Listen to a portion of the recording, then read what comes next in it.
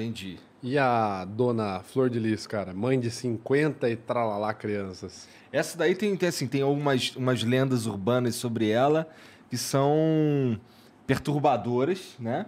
O lance dela, por exemplo, é, que os filhos é não eram só filhos, É, né? tá no, eu não sei, eu não sei até que ponto é verdade, mas porque eu não li tão a fundo assim, mas o que Olha a chegou pra fonte. mim Temos a fonte é, aqui, por o favor. que chegou pra mim é que ela pegava os próprios filhos e tal, umas paradas que Ela tinha 50 filhos pra comer de Não conversa? tinha, nunca teve. A Flor de Lis é o maior engodo que esse país já teve. E eu acho impressionante quanta gente essa mulher enganou. Enganou o estado do Rio de Janeiro inteiro. porque Engana ela ainda, né? foi a mulher.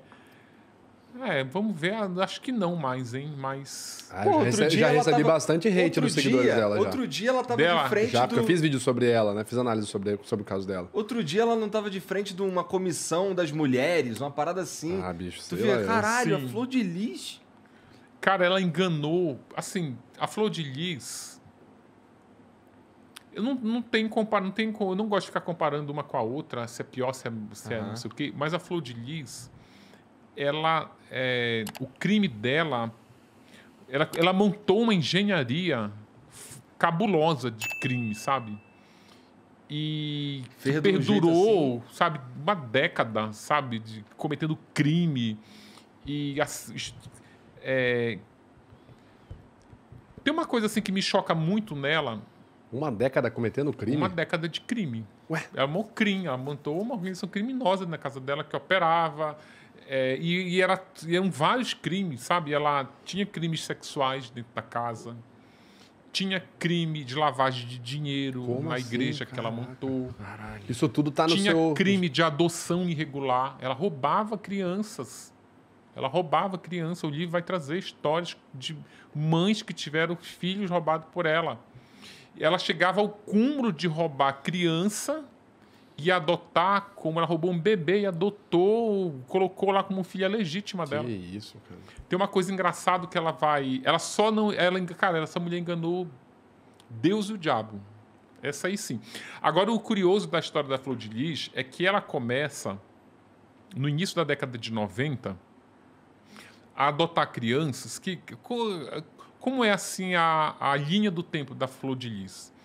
Ela era uma pobre coitada, favelada de Jacarezinho, casou com um cara lá, esse cara tiveram três filhos. Aí ele deu um pé na bunda dela porque ele, ele arrumou outro e ela entrou numa vida vazia, que ela era uma dona de casa, e começou a adotar crianças. Sabe, levava a criança para casa, não sei o quê, e, e até ali tinha uma pureza nas intenções dela. Só que aí uma das crianças que ela adota é o Anderson, o pastor que, é esse que ela vai se casar com Sim. ela. Ela adota. Aí sabia disso. o Anderson começa a namorar a filha mais velha dela, que se chama Simone, Mano, que é filha com o que primeiro marido. doida, cara. Só que aí, em algum momento, ela começa a se relacionar com os dois, com as duas ao mesmo tempo. Ao mesmo tempo que ela namora a Flor de Lis, ela namora com A, filha Simone. dela, É, e acaba optando pela mãe. pela mãe. Mas, eles, Aí, mas isso assim, uma relação os três ao mesmo tempo, tipo, uma homenagem assim? Não, não, não. não, tipo, não. ele, ele, Ele tá namorando com ela, um triângulo ponto. amoroso. E ele não, tá era uma, com ela. não era um trisal, era um triângulo amoroso. Perfeito, não era saber, né? consentido. Do jeito que você contou as coisas dela, eu tô até Ainda mais que hoje assustado. tá na moda, né? É. É, mas daí o Anderson ele tinha, ele já via aquela a, a família da Flor de Lis incomodava muito porque toda semana chegava uma criança. Ela ele, ela tava naquela época somando Parece com os eu com o filhos. Mercado Livre, toda semana chega É, encomenda. Oh, show uma chega, criança com o- os filhos biológicos dela e os adotivos já dava um total de 14 crianças. O Anderson, que era um bancário do Banco do Brasil nessa época, que era, tinha uma visão extremamente visionária, viu ali que tinha um, um potencial daquilo ali virar. Aí ele incentiva ela a adotar, vamos adotar, vamos adotar. Que quando que ela cantava na igreja já desde pequena, e ele via, nossa, tipo, ela tinha esse potencial de, de cantora gospel e tinha esse potencial de brilhar, de crescer no assistencialismo, dessa coisa da mulher que. E ela tirava a criança do tráfico, criança de mãe alcoólatra, de mendiga, de criança de rua. Começou assim. Aí o, o Anderson que bola todo esse projeto, olha, tu vai ser a mãe de 50. A nossa meta é você adotar 50. Quando você adotar, tiver, quando nós tivermos 50 filhos, eu vou te colocar como a maior cantora gospel do país. Tu vai fazer shows internacionais. Tu vai, tu vai ser uma pastora de sucesso, pastora das multidões. Eles tentaram é, é, ter carreira como pastor na igreja, na Assembleia de Deus, não deu certo. Mas tu é tão grande que tu não precisa da Assembleia de Deus. A gente vai montar o ministério para você. E quando você tiver 50 e tiver for tudo, todo esse essa força da pastora das multidões a cantora gospel de sucesso, eu te coloco lá no, no Congresso. Tu vai ser a deputada mais votada do Rio de Janeiro. Ou seja, ele criou tudo isso. Ela era uma, ela era uma marionete na mão dela, ela era um produto. Tem muito isso, né, no meio artístico, aquele Sim, tem. cantor que não é nada, mas aí vem aquele puto empresário e tal, Sim. olha, tu vai ser e tu fica isso é um pacto com o diabo. Literalmente, porque a tua vida, o teu sucesso Por isso que tem o São Cipriano, não tem nada a ver não com tem isso. a ver. Eles fizeram, ele fez um pacto, inclusive, com sangue, de escrever um salmo inteiro da Bíblia com, com sangue. Tinha um quarto de ritual. Caralho. Só que aí ela chega realmente aonde ele disse que ela chegaria. Eles realmente. Aí teve, começou a dar problema com 50 filhos. Porque o que aconteceu? Quando ela, à medida que a adoção foi crescendo, ela não tinha como bancar alimento para todo mundo. Então o que, que eles fazem? Olha, vamos começar a fazer uma reportagemzinha ali no, no RJTV, uma reportagem ali no Caderno de Cidade do jornal O Globo, do jornal O Dia, que aí começam a aparecer é, doações. E dito e feito. Dois empresários, lá os irmãos Werneck, viram nela ali. Só que à medida que ela aparecia na mídia, a justiça foi: opa, como é que essa mulher está adotando isso muito? Lembra do Ciro Darlan? Do. Ciro Darlan é um juiz bem conhecido no Rio de Janeiro. Ele é um juiz. Eu não sei se vocês lembram quando a Madonna veio fazer um show no Brasil, acho que na década de 90. Tava, ela- ele queria proibir o show porque o show era muito. Porra, não lembro. É, aí depois tinha uma novela na Globo, ele até me falou o nome da novela, eu esqueci agora. Tinha uma novela na Globo que a Giovanna Antonelli, ela fazia uma prostituta e ela tinha uma criança. E tinha um outro ator que fazia par com ela nessa novela, era uma novela das oito, que eu não vou lembrar o nome desse ator. E ela ficava com a criança no colo e esse casal em cena discutiam pra caralho, falavam alto, sabe? Era uma cena tensa e a criança começava a chorar. Aí o Ciro Darlan viu aquilo e disse: opa, essa criança não pode estar. ela não tá Pediu pra ser ator, né? é, não tá entendendo o que está acontecendo aí. É. Aí ele baixou, não sei se foi uma liminar, uma medida que a Globo não podia usar, queria tirar as crianças da novela tudo. Isso repercutiu muito.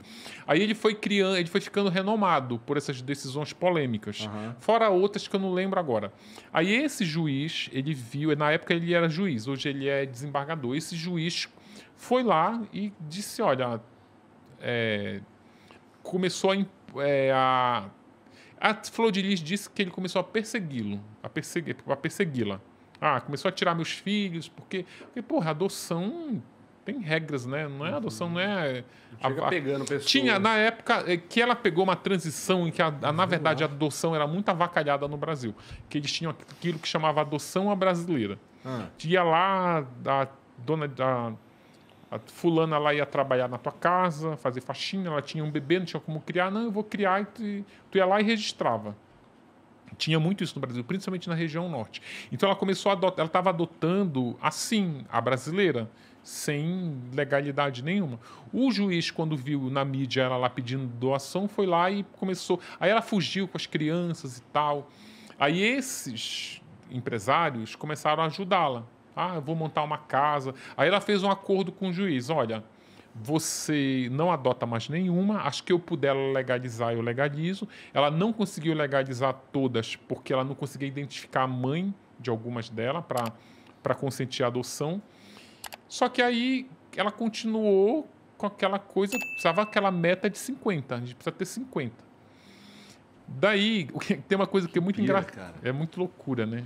E isso, assim, eram filhos no sentido figurado, que não eram filhos. Ela não tratava, ela tratava feito filhos, os biológicos, tratava mais ou menos como filhos o que ela conseguiu adotar legalmente e os que ela estava ali preenchendo a cota que ela tinha que ter aqui 50 não eram filhos. Eles tinham tratamento diferenciado, eles não tinham acesso à geladeira da casa, eles não comiam a mesma coisa. Tem uma passagem no livro que um deles me contou em que tinham nove desses filhos que ela agregou ali, que ela chama de filho afetivo, ela chama filho biológicos que ela gerou, ela chama de filho adotivo que ela conseguiu legalizar e filho afetivo os que é, os que estão fora desse círculo. É, o que elas colocou dentro de casa. É, exatamente, mas não tá. tem nenhuma legalização de, na adoção. Entendi. E não tinha comida para todo mundo e eles eram assim tratados como segunda classe mesmo. Ele tem um deles que conta uma cena que ela colocou uma macarronada, tinha oito moleques lá na mesa, ela colocou uma macarronada para oito pessoas e tinham só seis ovos cozidos. Ou seja, não ia dar um ovo cozido para cada. E aí ela escolhia quem. Ah, esse aí acabou de chegar há pouco tempo. Não, você não vai comer, você come só macarrão. Ficava uma coisa meio maluca. Entendi. E é, ela precisava desesperadamente bater a, a, meta de 50, que é como ela, quando ela lança a biografia dela, ela usa até esse slogan aqui. Ela coloca aqui mãe coragem, mas aqui na orelha ela coloca assim, ó, mãe de 50. Mãe de 50 filhos. É, mãe de 50 filhos, que era a meta dela. Só que aí o que acontece? Essa meta, ela não era uma meta simbólica, ela precisava mostrar na mídia que ela tinha 50. Quando ela disse que bateu os 50, aí todo mundo se interessou em fazer reportagem com ela. O Fantástico, Ana Maria Braga, Globo Repórter, os jornais locais, Record, tudo que era. Aquelas matérias que volta e meia aparecem, né? Mãe de não sei quanto uhum. e tal. E tem uma coisa engraçada que o Fantástico fez uma matéria em que eles não mostram que tem 50, mas eles cravam que é mãe de 50. Aí eles fazem uma coisa assim meio aquelas matérias de impacto, ah, são não sei quantas toneladas de comida por mês, não sei quantos pães francês, não sei quantos litros de leite, aquilo tudo não existia. Não existia. Ela nunca, ela juntava aquela molecada toda, porque onde ela pegava moleque? Ela pegava moleque de rua, ela pegava o trombadinho, ela pegava o moleque que estava vendendo é, vendendo bala na sinaleira, pegava o batedor de carteira, não vamos para cá, porque preciso juntar gente aqui para eu dizer que eu tenho. E ninguém via ver se era filho dela de verdade, coisa Não, filho tipo. de verdade não era, mas ninguém ia ver se, aquelas, se aquela criança realmente, aquele moleque realmente morava na casa se dela. Ele comia comida ali de verdade não, mesmo. Ah, ninguém... cara, tu sabe como eu descobri isso? É muito engraçado. Eu tava na. na era, era em outubro do ano passado. Não, novembro do ano passado. Eu estava conversando com uma. com uma pessoa muito próxima dela, que estava ali na na linha de frente ali da casa. Aí eu fiquei muito curioso, eu comecei a perguntar para ela, mas vem cá, ela já tinha me ajudado muito, a fazer muita videoconferência, fui lá, visitei ela. Aí eu perguntei para ela assim, mas eu queria detalhar no livro como é a dinâmica de uma casa com 50 crianças. Por exemplo, é, banheiro para 50. Cara, tu tem noção do que é 50 pessoas juntas? Pois é, né? Um Quando eu entrei na tá universidade, tá a minha turma tá tinha 50 alunos, era uma sala grande de gente, cheia de gente. E lá em casa, quando eu era adolescente, nós éramos quatro irmãos, pai e mãe. Já era uma puta estrutura para ir para a escola de manhã, para comer, para. Sabe, tu ia no fogão, era várias panelas assim, né? Como é que se faz comida para 50? Onde é que lava roupa? De 50 crianças. São perguntas que são óbvias, mas ninguém faz, né? Ninguém faz. É. Ninguém fazia, né, na época. É, aí eu ficava pensando, por exemplo, onde lava essa roupa? Cadê a panela que cozinha para esse batalhão? Aí a mulher começou a rir de mim. Né? Ela começou, sério que tu acredita que tinha 50 crianças aqui? Falei, não tinha. Ela falou, claro que não moleque de rua que ela chamava para cá para fazer número. E isso fica muito evidente, que aí a matéria do Fantástico botou as crianças ali, era uma matéria mais de curiosidade, né? Com, dos pãezinhos, da tonelada uhum. de. Mas aí, quando ela vai na Ana Maria Braga, em março de 2014, 2013 ou 14, nem lembro agora o ano, mas enfim. Ela vai na Ana Maria Braga. Só que aí a Ana Maria Braga, a produção da Ana Maria Braga, ligou lá para a casa da Flor de Lis e disse: Olha, eu vou. A Ana Maria Braga vai conferir. Gente, ela ficou desesperada. Só tinham na casa 30 crianças, 32 crianças. Elas ficaram desesperadas e pega a criança daqui, liga para a irmã, traz teu filho, traz meu sobrinho, foi nas vizinhas, bora aqui, não sei o quê. E foi na rua, pegou mais um bocado. E mesmo assim ela não chegou aos 50. Ela chegou em 42. Aí o programa da Ana Maria Braga começa com aquela fila indiana. Era numa época que ela tinha um cenário que era uma casa. E ela, o estúdio dela era uma casa, que era uma casa meio elevada, tinha uma escada assim para um bosque. E tava aquela fila indiana. Aí a Ana Maria Braga pode entrar. E ela começa a conferir. Eu ainda até fiquei pensando, gente, sério, porque programa é, demora, né? Aham. O programa tem outro time, né? E ficou lá na Maria Braga um, dois, três, quatro, vai entrando, quatro, cinco, seis, gente, dá 48. Eles ficam muito sem graça. Dá 42. Aí Ana Maria Braga, uai, cadê o resto? Aí ela começa a.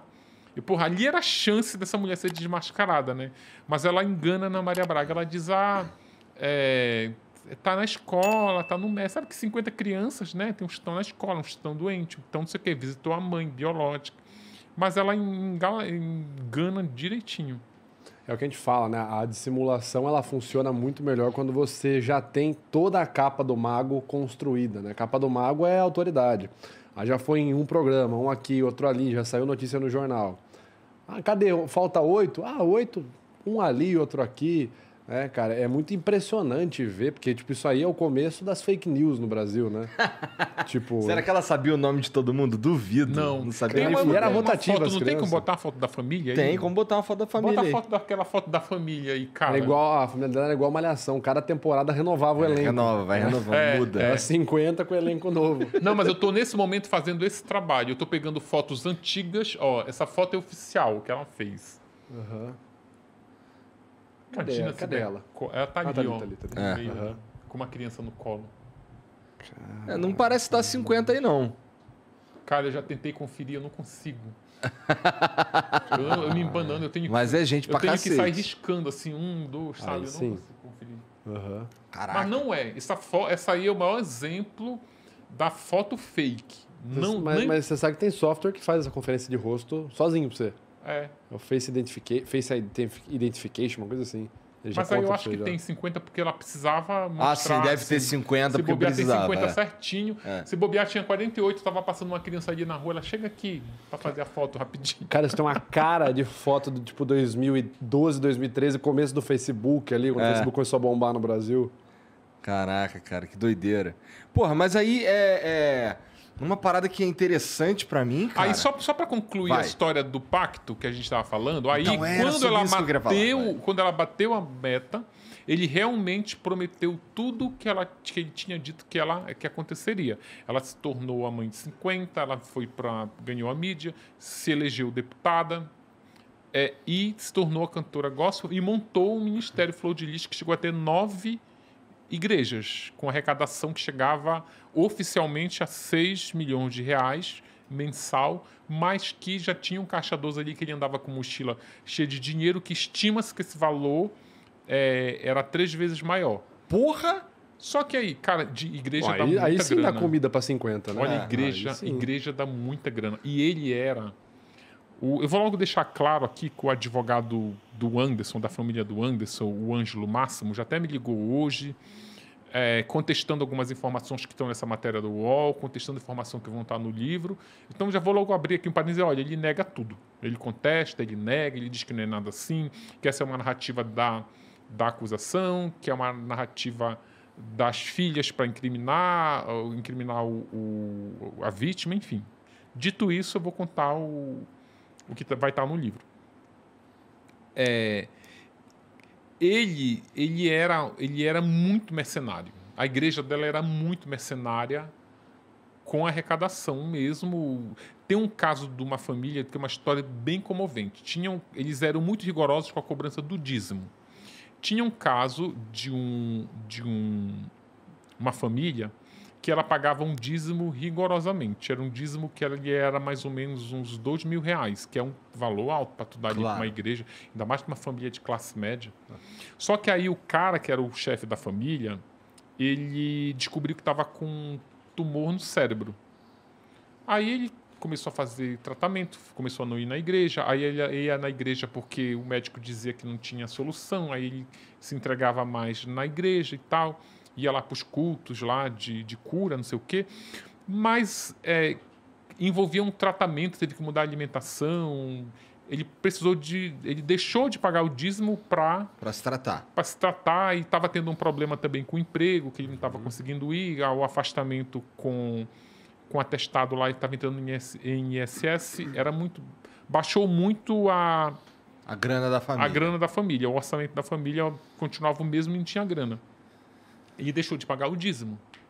Pois o Anderson foi lá, segundo essa família, foi lá pessoalmente com a desculpa de saber por que ele não estava indo mais na igreja, falou, ah, o dízimo? Ele falou, olha, não temos condição de pagar o dízimo. O cara tá, tá, tá mais morto do que vivo, já tá ali na cama, ó. Com dor, tá com uma dor de cabeça, que era um tumor que estava crescendo, uma dor de cabeça. Sabe o que ele falou? Pois é agora que ele não pode atrasar o dízimo. Se ele, o cara vai morrer daqui a pouco, o dízimo tem que estar em dia para ele garantir a entrada dele no céu. Tu Caralho, acredita nisso? inacreditável.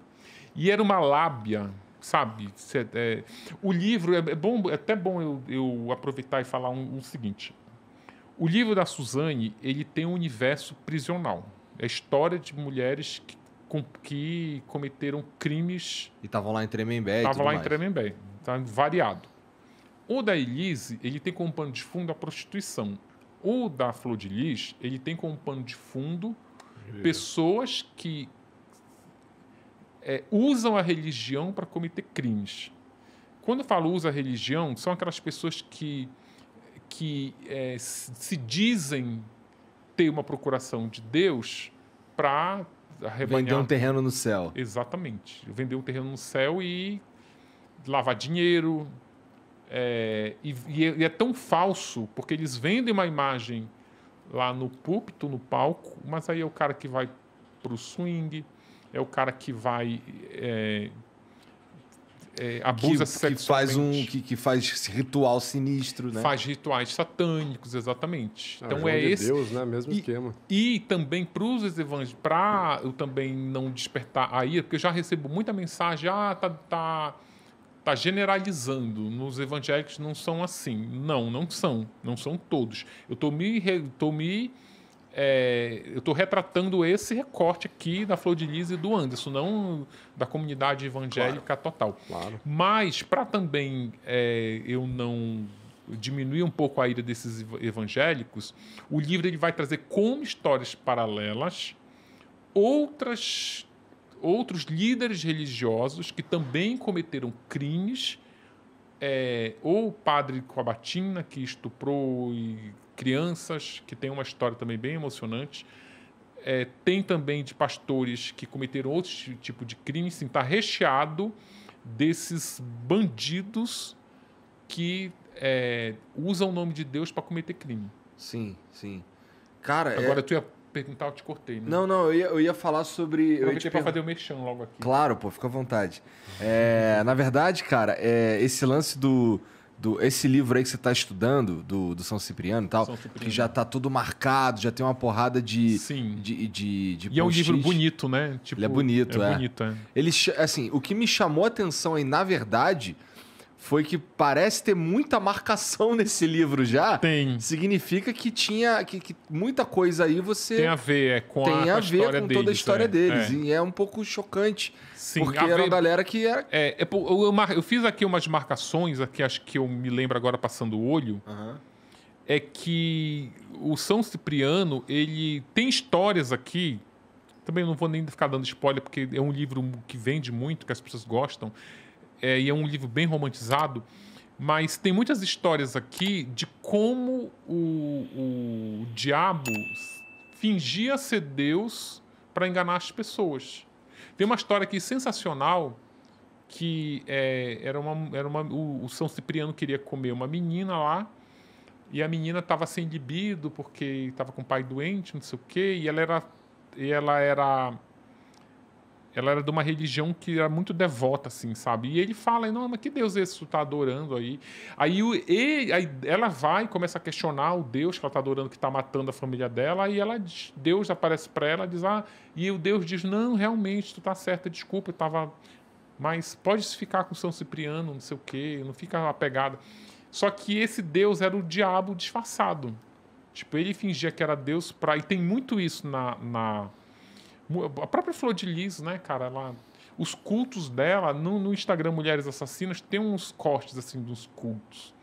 Em que ela, ela. Eu fui num culto da Flor de Lis, em que eu peguei. Eu fui nesse culto da Flor de Lis, aí eu fiquei Foi sentado. No culto da Flor da de Flor, Lis. lá no Ministério dela. Aí eu fiquei com. Num dos cultos que eu fui, ela estava até de tornozeleira.